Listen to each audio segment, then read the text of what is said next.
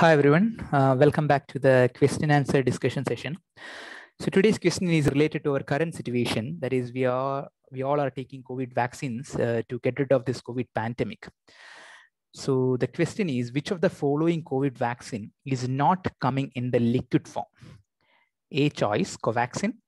B choice, Covishield. C choice, Sputnik V. D choice, all of the above.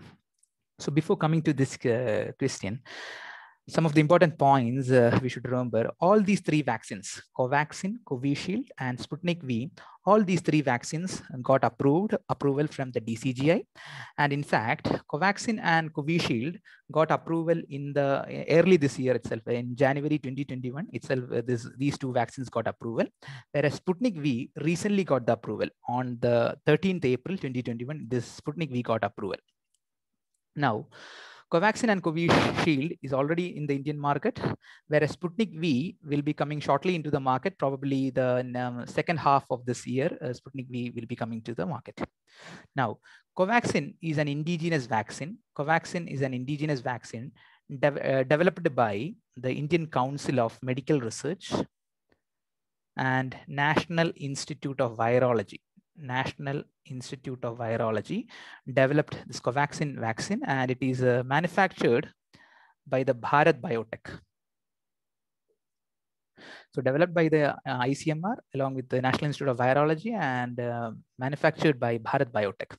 Whereas uh, Covishield vaccine is developed by AstraZeneca along with the Oxford University along with the Oxford University and AstraZeneca developed this Covishield vaccine. And in India, it is manufactured by the Serum Institute, Pune. Serum Institute, Pune. Whereas Sputnik V is a Russian vaccine and it is uh, um, developed by the institute called as Gamaleya Research Institute of Epidemiology and Microbiology. Gamaleya Research Institute of Epidemiology and Microbiology developed the, this uh, Russian vaccine called as uh, Sputnik V. And currently, uh, the, in India, the manufacturing has not started yet. And prob most probably Dr. Reddy's lab uh, or Panacea Biotech will be undertaking the manufacturing of Sputnik V in India. Okay. Now, uh, out of these three vaccines, Covaxins comes in the liquid form. Is coming in the liquid form. Covishield is also coming in the liquid form. Whereas Sputnik V is coming in the powdered form. That is, it's, the, it's a freeze-dried form. It's a freeze-dried form or it's a lyophilized form. Freeze-dried form or in a lyophilized form. That means we have to reconstitute freeze dried form or lyophilized form or in the powder form and we have to reconstitute before the use. That is we have to hydrate this thing.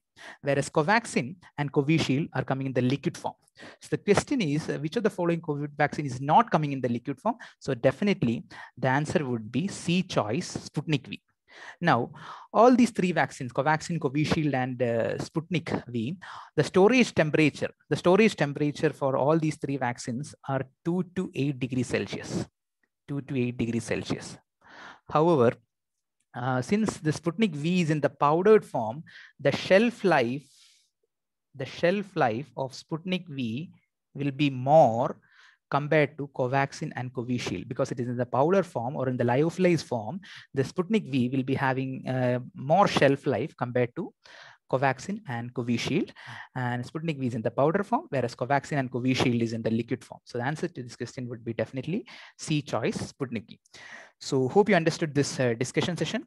And thanks for supporting us. And please share this video with your friends. And if you're watching it for the first time, please do subscribe to our channel and click, click the bell icon for our daily updates.